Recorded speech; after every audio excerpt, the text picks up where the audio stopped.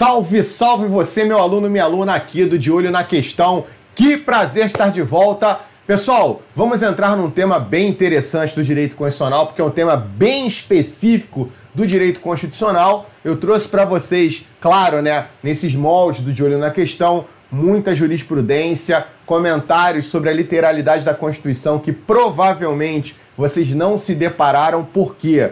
Porque quando o Araújo aqui começa a montar a sua aula, ele vai estudar várias questões de provas anteriores, justamente para ter uma estatística e justamente para mostrar para você uma tendência de bancas, das principais bancas examinadoras. Como o tema é muito específico, ele mereceu um carinho muito especial de minha parte, né? Porque o tema segurança pública realmente não é um tema que cai para todo e qualquer todo e qualquer concurso, diferente de artigo 5 diferente de organização do Estado, poder executivo, né? O tema segurança pública é muito específico, então ele mereceu uma atenção especial. Bom, vou aqui colocar o nosso slide, já está aqui as pílulas né, do direito constitucional comigo aqui. Vamos lá, segurança pública, artigo 144. E galera, é, aqui é o esquema de todo e qualquer livro de direito constitucional, né, uma doutrina de direito constitucional, vai te mostrar essa ideia de polícia de segurança. E por quê, né? Porque a gente estuda em direito administrativo, principalmente com a nossa querida Maria Silva de Pietro, né? A de Pietro fala sobre poder de polícia, aquela história de limitar é, determinados direitos individuais, pensando no interesse público, aquela coisa toda, né? Só que aqui a aula não é de poderes administrativos, poderes da administração, não tem a ver com poder de polícia, esqueça isso. Aqui nós vamos estudar a polícia de segurança. Beleza? A Constituição no artigo 144, ela vai trabalhar a polícia de segurança. Beleza? Então é o seguinte, você vai pegar um livrinho e basicamente você vai ler que a polícia de segurança se divide em duas: a polícia administrativa e a polícia aqui embaixo, ó, judiciária. Enquanto a polícia administrativa ela atua preventivamente, evitando que o ilícito aconteça, a polícia judiciária ela já atua repressivamente após o ilícito penal. Gente, essa distinção de polícia judiciária, polícia administrativa, eu não vejo muito em prova, mas sempre é interessante ilustrar justamente para você saber, de repente, no meio de uma opção, ele coloca que, sei lá, a atividade principal da polícia militar é o policiamento judiciário. Você, opa, não, né? O policiamento judiciário no estado, ele vai ser feito pelas polícias civis, aquela coisa toda, né? Então só cuidado com essa pequena distinção. Então, primeiro ponto, não confundir o poder de polícia, essa limitação dos direitos individuais pensando no interesse público, tá? Com a polícia de segurança, que é o objeto da nossa aula aqui no De Olho. Beleza, tá? Então eu tenho, como eu disse há pouco, a polícia administrativa atuando preventivamente ou, ostensivamente. Na, em qual sentido? No sentido de ser preventivo em não em evitar que o ilícito penal ocorra. Já o policiamento judiciário, a polícia de investigação, ela é repressiva, ela já atua após o ilícito penal, tá? Beleza. Bom, policiamento administrativo no plano federal, tá aqui bonitinho, tá? Ele vai ser de competência da Polícia Federal, da Polícia Rodoviária Federal e da Polícia Ferroviária Federal. Né? A Polícia Federal, obviamente, ela tem é, uma quantidade maior de questões. Ah, mas Araújo, vou fazer prova, cara, para a PM, vou fazer prova para a Polícia Civil. Galera, não interessa. Porque quando o tema é segurança pública, existe sim uma tendência maior sobre a Polícia Federal, até porque tem maior número de competências, tá? Bom, Rodoviária Federal, né, aquele policiamento ostensivo nas rodovias, Polícia Ferroviária Federal, aquele policiamento ostensivo nas ferrovias, né, federais e tudo. Não tem muito o que falar, na verdade, às vezes o examinador ele só coloca a letra seca da Constituição, beleza? Ah, mas Araújo, ainda hoje acontece isso? Por incrível que pareça, ainda hoje acontece essa letra seca da Constituição no tocante à Polícia Rodoviária, mas isso mais em concursos da Polícia Rodoviária mesmo. Bom, é um tipo de questão que eu não gosto que os meus alunos se deparem, porque você vai acertar com facilidade, só que os outros também vão acertar com facilidade. Agora a gente vai para o de olho na questão. Agora a gente vai para a cereja do bolo. Olha só, legislar privativamente sobre as competências da Polícia Federal, Rodoviária Federal, Ferroviária Federal, você vai encontrar isso no artigo, é, o artigo 22, inciso 22. Então, é uma competência privativa da União legislar sobre essas instituições, né? Até porque são polícias federais, né? A Polícia Federal, Rodoviária, Ferroviária, e aí o artigo 22, inciso 22, só corrobora isso, né? Só pegando aqui o meu Vadimecum, pegue o seu também. Você pega lá, compete privativamente a União legislar sobre competência da Polícia Federal e das polícias rodoviária e ferroviária federais. Qual é o meu receio? É o cara te dar uma sacaneada, né? O cara perguntar se a competência aqui não é privativa, mas exclusiva da União. Não, não, não, de maneira alguma. Você vai ter que lembrar que a competência privativa é a competência normativa, que a competência privativa é aquela preocupada com o verbo legislar, tá bom? Dificilmente, né, você vê uma questão sobre a competência para legislar, por exemplo, a competência para legislar sobre a Polícia Federal é exclusiva da União, alguma coisa nesse sentido, você vai falar que não, é uma competência privativa da União. Beleza? Bom, o policiamento administrativo, esse ostensivo no plano estadual, ele é feito pelo Corpo de Bombeiros e também pela nossa queridíssima Polícia Militar, tá? Bom, o que acontece? Tanto o Corpo de Bombeiros como a Polícia Militar tem uma atividade muito, muito importante, principalmente em estados como o Rio de Janeiro, principalmente como o meu estado, um problema gravíssimo de criminalidade. E, infelizmente, né, é, nós temos essa, entre aspas, guerra todo santo dia. E quem bota a cara efetivamente, né?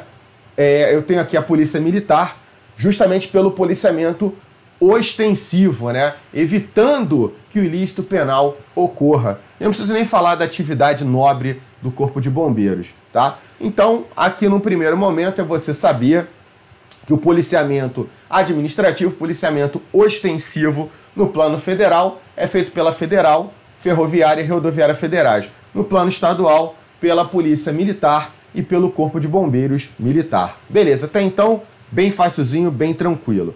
Araújo, e esse tal de policiamento repressivo, meu velho? Esse policiamento é, de investigação que ocorre após o ilícito penal? Bom, no plano federal, olha que interessante, aparece também a Polícia Federal. Né? E aqui essa atividade é exclusiva da Polícia Federal.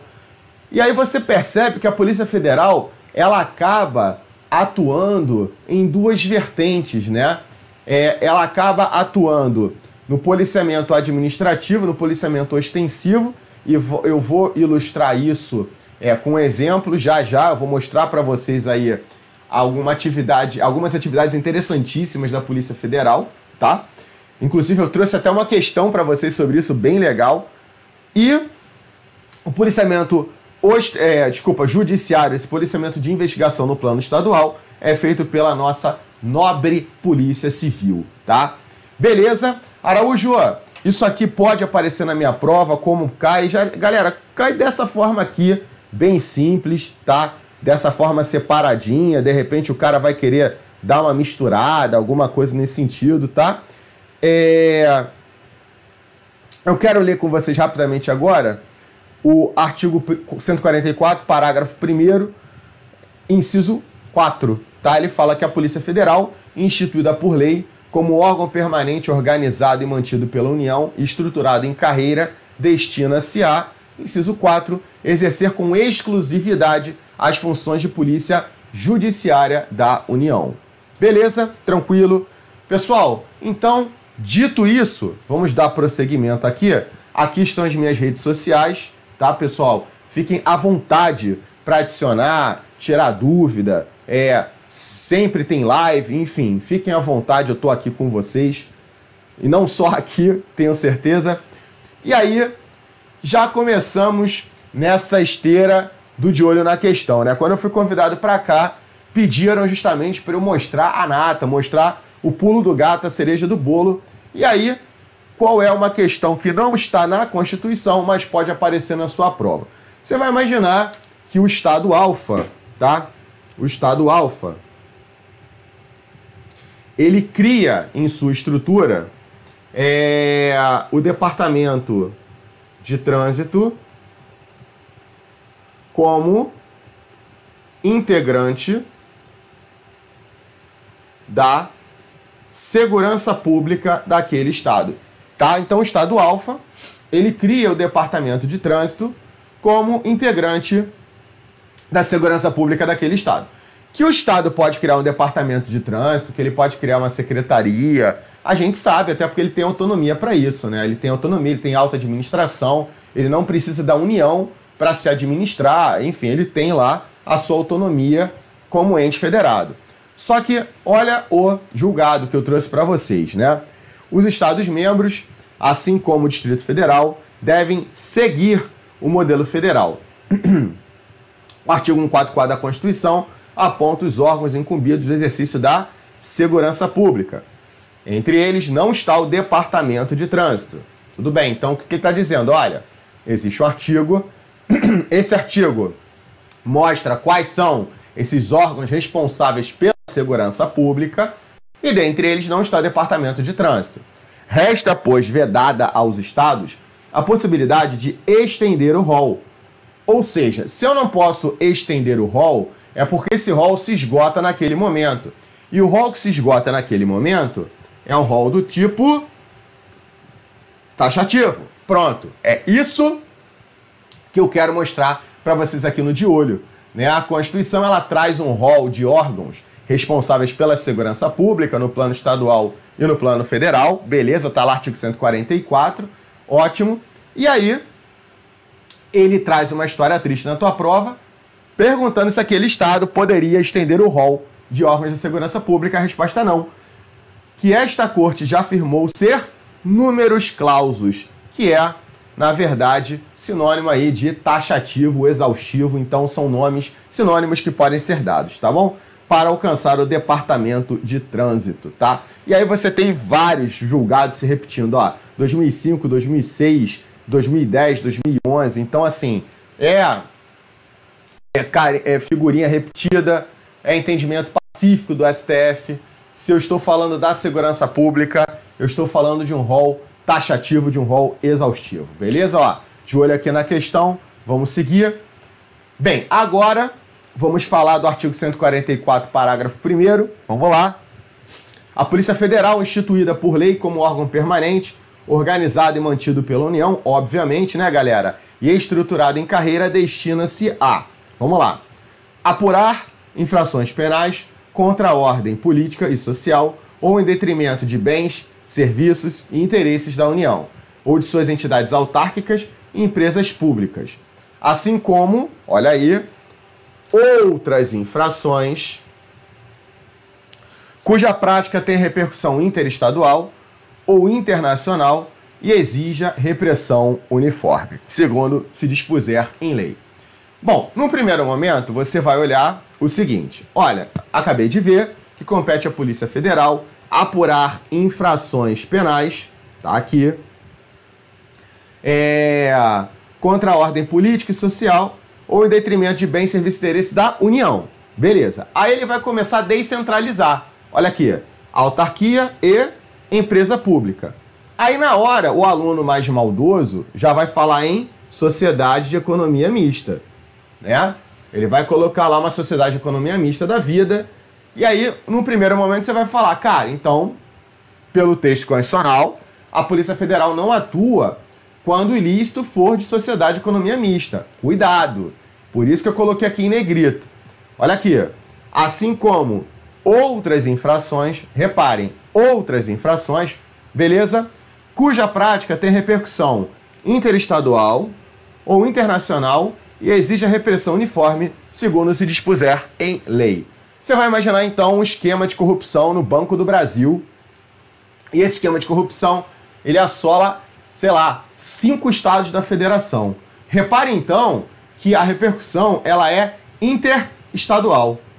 Então, veja, ainda que eu fuja da autarquia, ainda que eu fuja da empresa pública, ainda que eu coloque uma sociedade de economia mista, galera, prestem atenção. Se houver, tá? Cuja, se houver uma prática e essa prática tem uma repercussão sobre mais de um estado, por isso que ele fala, né?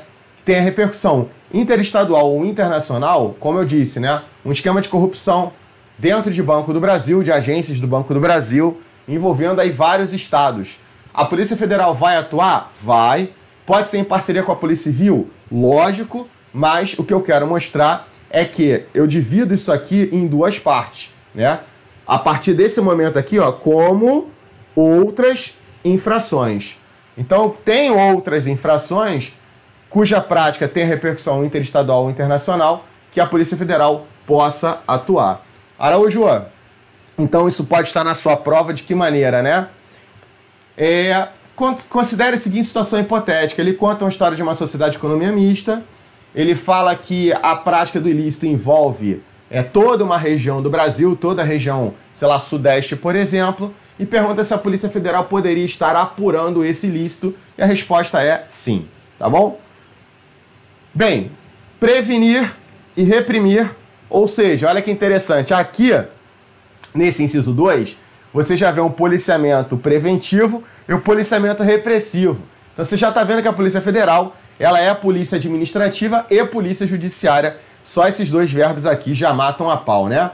Então olha só, o tráfico ilícito de e drogas afins, o contrabando e o descaminho, sem prejuízo da ação fazendária, claro, né? Até porque a fazenda não está preocupada com o ilícito propriamente dito. Né? O fisco, a Fazenda, está preocupada com a constituição do crédito tributário, passar a sacolinha dos tributos, né? E de outros órgãos públicos nas respectivas áreas de competência. A gente até fala, né, que dentro de um aeroporto, já que a Polícia Federal tem atividade aeroportuária, né? Você encontra lá, você ah, tô saindo do país, aquela coisa toda, entregar o passaporte, né? Tá lá alguém da Polícia Federal, um terceirizado que seja trabalhando para a Polícia Federal. E o que, que acontece ali? Né? Você tem uma atividade aeroportuária. Beleza. Só que quando eu vejo a Receita Federal, ela atua é numa outra seara. Já notaram? Eu estou chegando com as minhas malas, ele vai querer saber se eu declarei, não declarei. Por quê? Ele não está preocupado com alguma criminalidade. Né? O auditor da Receita, ele não está preocupado com o ilícito penal. Quem está preocupado com o ilícito penal é a Polícia Federal. Né? Tanto que se houver um tráfico internacional de droga, alguma coisa assim, o auditor da Receita, obviamente, vai chamar a Polícia Federal, né? O auditor da Receita, ele vai chamar a Polícia Federal porque agora já passou, né? Veja, se eu vejo ali é, uma ausência de declaração, né? Ah, eu vou, vamos ver que bicho vai dar, vou trazer iPhone, MacBook, aquela coisa toda. Aí o auditor da Receita ele vai me multar por não ter declarado, obviamente, e além de pagar a multa, eu vou pagar o tributo que já me era devido. Já o policial federal está preocupado com outra coisa, está preocupado com ilícito penal, tá? Então vamos lá. É... E de outros órgãos públicos nas, nas respectivas áreas de competência. Show de bola. Exercer as funções, olha aí, de polícia marítima, aeroportuária, cuidado, marítima é uma coisa, aeroportuária é outra. Aqui não é aérea, é aeroportuária. Né? Aérea é da aeronáutica, tá? o policiamento aéreo é da aeronáutica, mas marítimo, é... eu até aqui. Depois eu queria que vocês tivessem aqui, por exemplo, houve uma matéria muito interessante com o NEPOM, né, que é o Núcleo Especial de Polícia Marítima da Polícia Federal, né? Depois vocês, depois da aula e tudo, né? Dá uma olhada aí, teve uma matéria muito interessante, você encontra no YouTube, sobre essa atividade de polícia marítima feita pela Polícia Federal por esse núcleo, esse núcleo especial de polícia marítima exercido pela Polícia Federal, o NEPOM, tá? Só que cuidado, o meu medo é o cara na tua prova colocar polícia marítima, polícia aérea e polícia de fronteira. Tá errado, né? Não é aérea, é aeroportuária. Você ainda não tem caças da Polícia Federal, né? É, é, fazendo policiamento aéreo. Não, aí você tem a aeronáutica mesmo, você tem a FAB, enfim. É, e de fronteiras, e exercer com exclusividade as funções de polícia judiciária da União. Tranquilo, isso aí a gente acabou de até no slidezinho anterior, não tem problema algum. Vamos dar prosseguimento. E aí o Araújo trouxe, óbvio, né?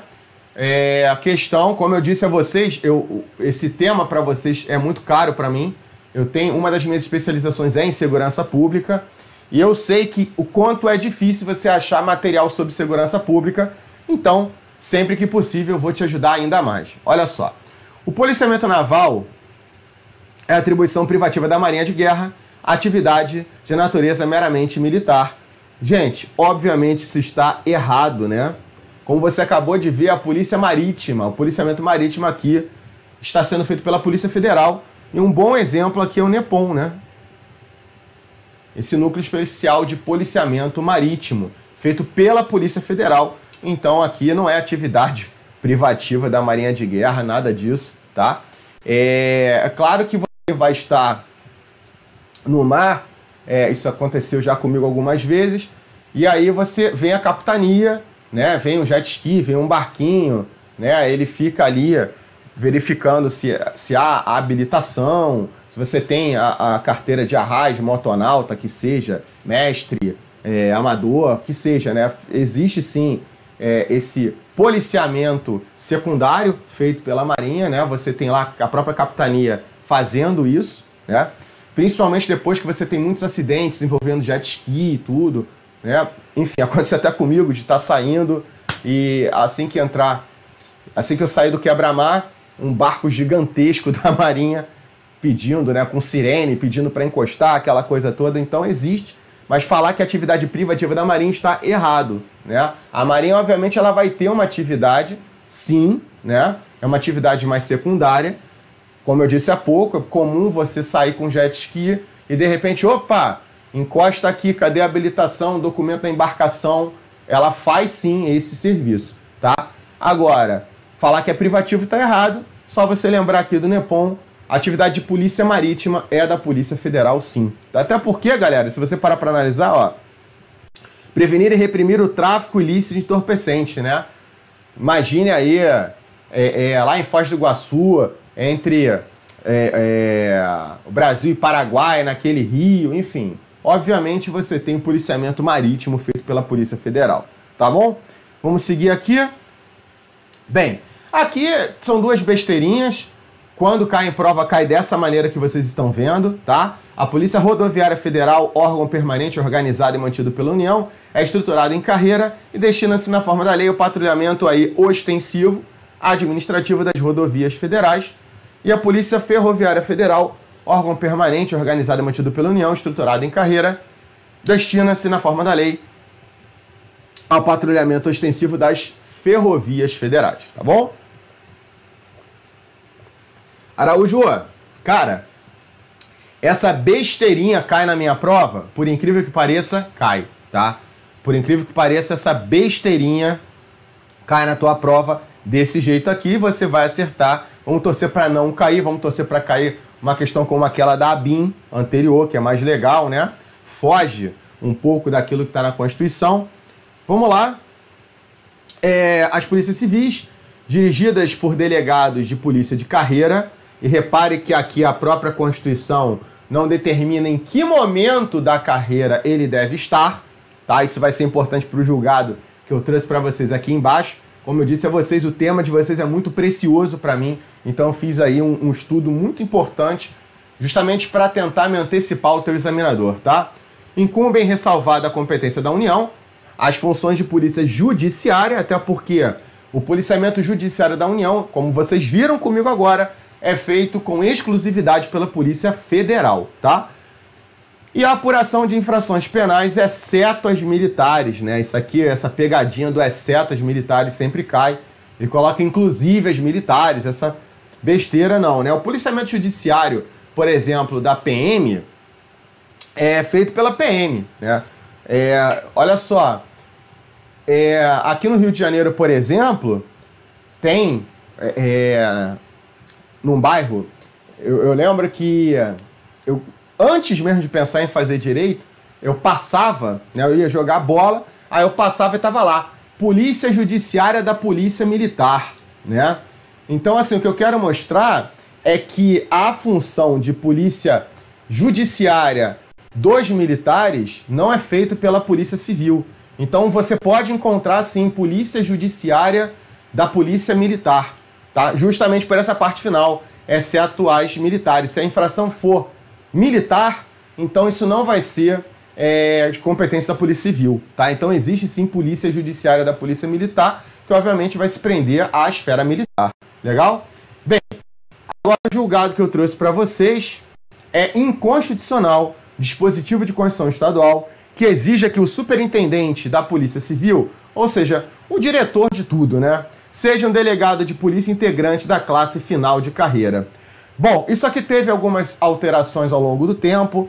É, se exigiu que sim, falou que estava certo, depois caiu. Enfim, o último julgado sobre isso, é, ele diz que vai ser inconstitucional porque o modelo federal exige que seja delegado de carreira mas não impõe a obrigação que seja da classe mais elevada, da classe final, tá? Então aqui eu tenho uma inconstitucionalidade, né? Se um dispositivo, pronto, de olho na questão, né? Dispositivo de Constituição Estadual exige que o diretor da Polícia Civil daquele estado integre a classe mais elevada. Isso vai ser inconstitucional, como está aqui dizendo o plenário na ADI 3077, beleza? Bem, as polícias militares e os bombeiros militares, forças auxiliares e reservas do Exército, subordinam-se, juntamente com as polícias civis, aos governadores dos estados e do Distrito Federal e territórios. Bom, qual é o pulo do gato aqui, tá? É o seguinte, galera. Distrito Federal. Por quê?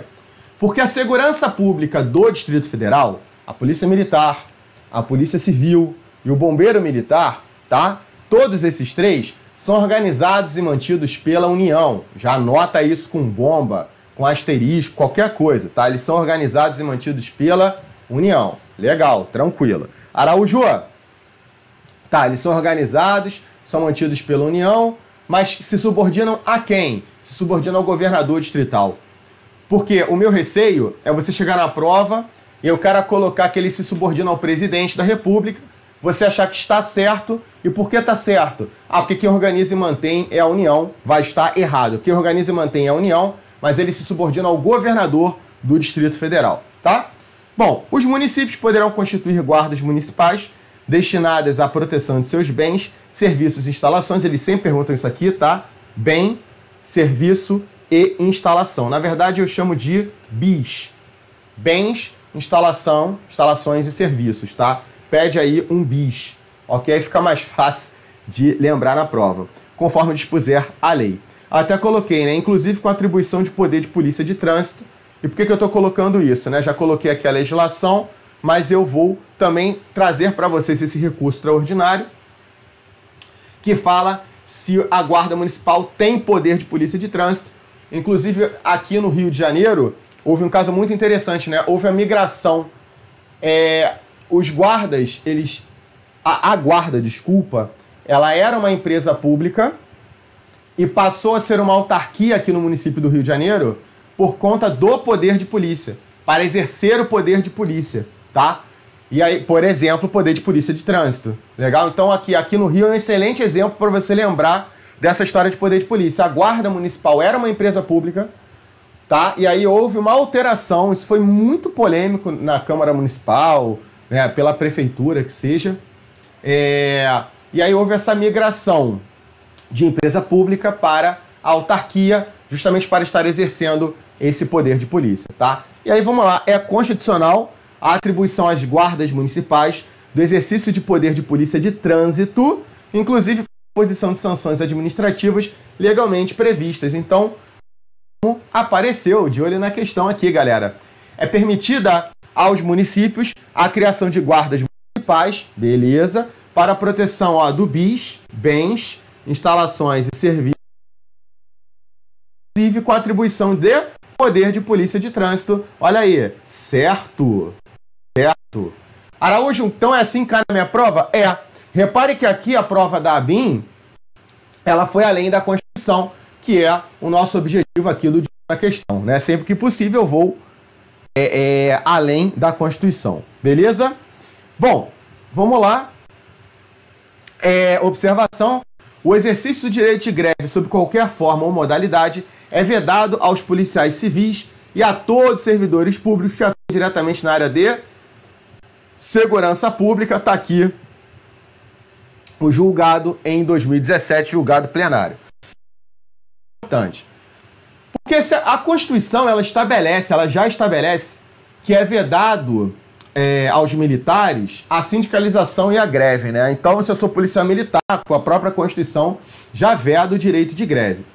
Araújo, mas ela não fala nada dos policiais civis. Realmente, ela não fala nada dos policiais civis, mas a jurisprudência fala. Então, policial civil, ainda que seja civil, é vedada a greve. Eu não posso ter greve por conta da atividade essencial que eles desempenham. Legal? Tranquilo? E aqui na parte final, se você colocar lá no artigo 144, lá no artigo 144, parágrafo 10, isso aqui foi incluído pela emenda 82 de 2014, tá bom? A segurança viária. A segurança viária exercida para a preservação da ordem pública e da incolumidade das pessoas e, do patrimônio nas vias públicas, tá bom? Isso aqui foi criação do, da emenda 82 de 2014, tá lá, né? Compreende educação, engenharia e fiscalização de trânsito. Vamos lá destacar isso aqui. Além de outras atividades previstas em lei, ou seja, é um rol exemplificativo. Ele pode perguntar na prova se o rol aqui seria taxativo, tá? é, que assegure ao cidadão o direito à mobilidade urbana eficiente e compete no âmbito dos estados, DF e municípios, aos respectivos órgãos ou entidades executivos e seus agentes de trânsito estruturados em carreira na forma da lei. Né? Então você vê aqui uma competência concorrente né, no sentido de é, não se concentrar nas mãos da União, beleza? Essa segurança viária. E aí, pessoal, conforme eu vinha falando, vem o SESP-NB e traz uma questão sobre segurança viária. Só que o interessante é que sobre segurança viária ele não trouxe nada. Ele trouxe uma questão sobre redação de Constituição. Aí você, poxa, mas como assim, né? Redação de Constituição? Que doideira é essa, né, Araújo? Olha só a questãozinha que os caras me colocam nesse delegado de polícia de Sergipe. O poder constituinte originário, isso aqui é a cara do CESP, né? Ao tratar da Segurança Pública, no ordenamento constitucional vigente, fez menção expressa à segurança viária, atividade exercida para a preservação da ordem pública, da incolumidade das pessoas e de seu patrimônio nas vias públicas. Se você voltar, realmente, né, tá aqui ó, na observação a segurança viária, exercida para a preservação da ordem pública, da incolumidade das pessoas, do patrimônio nas vias públicas. Beleza, Araújo, entendi, show de bola. O grande problema é que eu disse a vocês há pouco que isso foi acrescentado pela emenda 82 de 2014.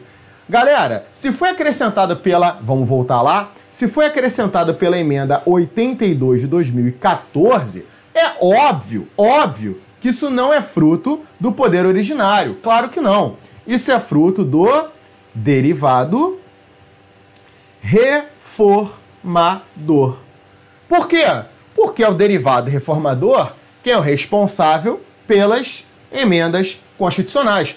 Por exemplo, esta emenda aqui, emenda, essa emenda aqui, a emenda 82 de 2014. Então, realmente veio a segurança viária, aquela coisa toda, mas a redação originária de 88 não previa a segurança viária. E eu vou aproveitar o ensejo para mostrar a vocês a última alteração sobre a segurança pública. Bem, a famosa, né? Famosa por quê? Porque desde 2019 só se fala nessa polícia penal. Vamos lá. Vamos a novidade da emenda 104 de 2019. Vamos lá? Olha só.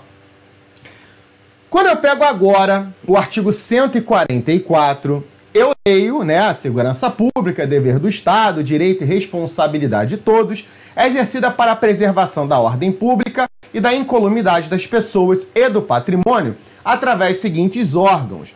Todos aqueles que nós vimos naquele esquema, né, naquele esquema que a doutrina repete bastante, e aí surge o inciso 6. As polícias penais federal, federal vinculada à DEPEN, estaduais e distrital. Araújo, que polícia penal é essa? Vou te dar né, o histórico para você entender o porquê da polícia penal. A partir de vários estudos, né, na área, na seara de segurança pública, notou-se que a atividade criminosa ela não se encerrava no momento que aquele indivíduo, que aquele marginal, ele era preso.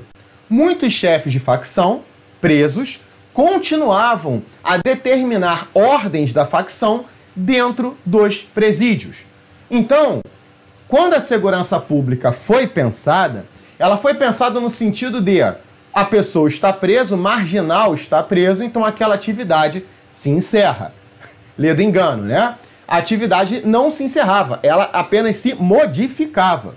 E aí, somente em 2019, tá? 2019 foi criada a Polícia Penal em âmbito federal, estadual e distrital. Cuidado, né? nós não temos Polícia Penal municipal. Em âmbito municipal, nós temos as guardas municipais. Então, nós temos aqui a Polícia Penal, podendo ser federal, estadual ou distrital. Beleza, tranquilo. Eu trouxe para vocês as alterações da emenda 104, tá? Bem, Araújo, você acha que cai, não cai? Acho que cai, independente do tipo de concurso que você vai prestar. Porque tudo aquilo que é novo cai em prova, né? Tudo aquilo que é interessante cai em prova. Então nós tivemos essa alteração de grande valia para a segurança pública. Tivemos, já, tive, já tínhamos, né, alterações no Estatuto de Desarmamento, questão de porte de arma, super importante, né, que naquela época para os agentes penitenciários. Hoje nós já falamos em policiais penais, né? Então, já a, a legislação já vinha evoluindo, né? Justamente para a realidade dos presídios, uma vez que aquele agente penitenciário lá atrás, né, o, o, chamado agente penitenciário, ele lidava assim com atividades extremamente complexas, inclusive, né, nós temos no sistema prisional brasileiro reconhecido o estado de coisas inconstitucional, quando então o Poder Judiciário deve retirar o Executivo e Legislativo da inércia, no sentido de tornar os estabelecimentos prisionais um lugar onde se há dignidade, né? Porque nós temos vários casos absurdos ligados à dignidade dos presos, enfim. Mas eu não estou aqui para falar do estado de coisa inconstitucional, a gente está aqui para falar da Polícia Penal. Bom, parágrafo 5 A. As polícias penais vinculadas ao órgão administrador do sistema penal da unidade federativa que pertencem. Então, assim, é da unidade que pertence. Se é federal, vinculada a DEPEN. Se é estadual, você vai ter alguma secretaria responsável por aquela atividade, tá? Cabe a segurança dos estabelecimentos penais. Beleza, show de bola. O parágrafo 6 que já foi retratado anteriormente por mim e propositalmente volta agora já com a alteração, para entender que isso aqui também foi uma alteração do Constituinte derivado reformador, beleza? Só que agora é emenda 104. As polícias militares, Corpo de Bombeiro Militar, Forças Auxiliares Reservas do Exército subordinam-se juntamente com as polícias civis e as polícias penais, estaduais e distrital, aos governadores dos estados, DF territórios. Bom, parou aí e cuidado mais uma vez, galera do Distrito Federal. Muito cuidado. Lembra quando eu disse lá atrás que o governador, ele, na verdade, que as polícias militar, civil e o bombeiro militar se subordinavam ao respectivo governador? Eu disse assim: olha, cuidado com o Distrito Federal, porque no Distrito Federal você tem a competência da União mantendo aquela polícia, mantendo aquela segurança pública sendo a subordinação ao governador distrital. Aqui dá no mesmo, tá? As polícias penais distrital, a polícia penal distrital é organizada e mantida pela União, só que subordinada ao governador distrital, beleza? Bom, aí o que eu fiz para vocês? Resumindo o samba. A polícia penal é um órgão de segurança pública. Opa, entrou no artigo 144, que é números clausos, que é exaustivo. Então pode podendo ser federal, estadual ou distrital, não entra aqui municipal, vinculado ao órgão que administra o sistema penal da União, ou do Estado ou do Distrito Federal. União aqui, lembrando da famosa DEPEN, né? Sendo responsável pela segurança dos estabelecimentos penais. Algumas observações finais aqui, para fechar com chave de ouro aqui com Araújo. Importante inovação: liberação dos policiais federais civil e militares das atividades de escolta de presos, devendo isso agora ser feito pelas polícias penais. Então, aquela atividade de escolta é feita pela polícia penal e não mais pelos outros policiais. O preenchimento dos do quadro de servidores das polícias penais, isso está no artigo 4 da emenda 104 de 2019. Legal? Se quiser depois conferir, é só pegar o artigo 4 da emenda. Bom, o preenchimento do quadro de servidores das polícias penais será feito exclusivamente por meio de concurso e por meio da transformação, isso aqui que é interessante, dos cargos isolados, dos cargos de carreira dos atuais agentes penitenciários e dos cargos públicos equivalentes. Então houve essa metamorfose, metamorfose de cargo, tá? Lembrando que a vigência dessa emenda foi imediata já no ano de 2019. Beleza, minha galera guerreira? Fechamos então aqui com chave de ouro o tema segurança pública. Muito importante mostrar essa emenda 104, mostrar essa inovação, até porque é órgão sim de segurança pública, eu sei que vai cair na sua prova, tá bom? Galera, ó, aquele abraço para você, desejo tudo de melhor, tudo vai dar certo, tô contigo e a gente se vê.